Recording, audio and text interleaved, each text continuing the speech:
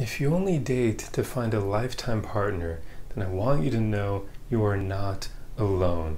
I know that in today's world, it really feels like we are the minority, the people who choose to date to find long term partners, if not lifetime partners, at least that being the end goal.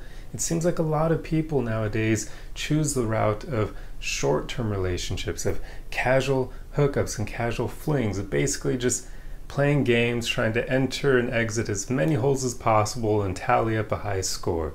But I want you to know just because it appears that way doesn't necessarily mean that that's actually the truth. And I do know that dating apps don't really lead a lot of evidence to what I'm saying because they kind of do seem to promote this hookup culture. But I actually truly believe most people are seeking a lifetime partner. Most people actually want a meaningful, long lasting relationship.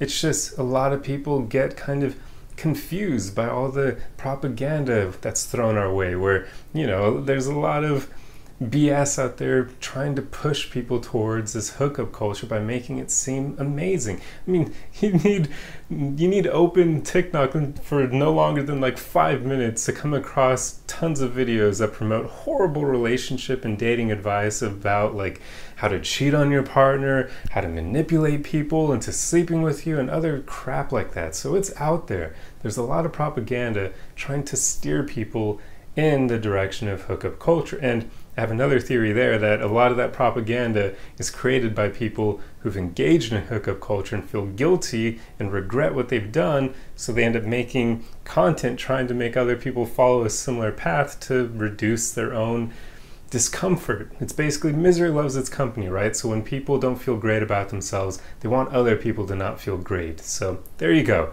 I mean, I could be completely wrong here, but that's just a theory that I have. So I truly do believe most people actually want long term, meaningful relationships. But because of the cultures that we live in, it can be a bit disheartening when you look out there and you sometimes don't find a lot of evidence to show that that's a, a reality or that it's even possible. Even when you do meet people who have relationships that have lasted a while, how many of them actually end up getting married? And then when you do meet people who are married, how many of their marriages seem to last?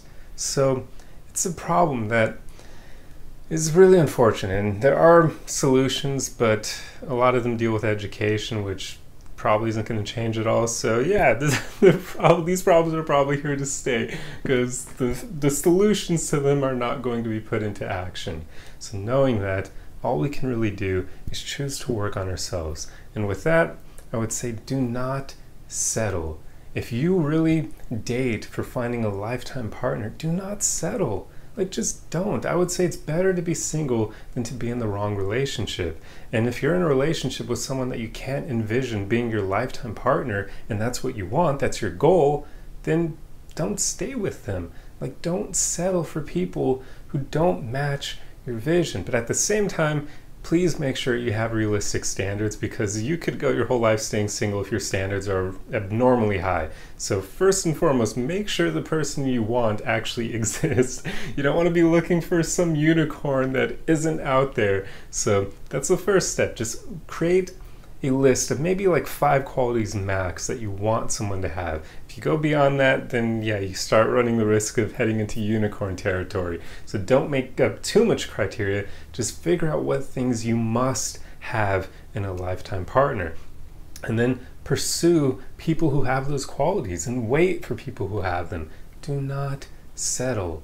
And then make sure you work on yourself while you keep going through life. Just continuously keep becoming a better human being. Because over time, what that's going to do is it'll hopefully attract better, the better quality partners into your life. Because you'll start attracting people who like what they see in you, people who are of a similar wavelength. Have you ever noticed how usually successful people kind of they like conglomerate they like group up together and that's they surround themselves with each other pretty much. Well the same thing goes for people who work on their personalities and work on becoming better human beings. They tend to group together as well. So if you're doing that if you're naturally working on evolving as a human being then the odds are over time you'll surround yourself with better people which means your dating pool will also consists of better people. So it's in your own best interest to continuously keep working on yourself. It will eventually attract higher quality partners into your life who can hopefully meet your criteria for a lifetime partner. So it's really there, there's no point in not working on yourself, right? But I just wanted to make this quick video. That's pretty much all I have for you because I just wanted to talk about this subject because I do understand that, yeah, it can be a bit disheartening. It can feel kind of lonely if your goal in dating is to find a lifetime partner because it does seem like not a lot of people hold that same goal. But that's only because the minority of people who engage in hookup culture are just so vocal about it and I've already kind of explained why that could be, you know, that whole misery loves its company idea. So just try not to buy into that. I do still believe that a lot of people want a lifetime partner. It's just not many of them are equipped to create that. And that's one of the issues. So all you can really do is just keep working on yourself and keep paying attention for people who meet your criteria. And then once you find them, do not let them go. But that's pretty much all I have for you. I truly hope you enjoyed this video. If you like content like this, be sure to subscribe for more. Otherwise, the easiest way you can help me out is just to throw a like and a comment on the video for the algorithm, and I will see you guys in the next video. Arrivederci!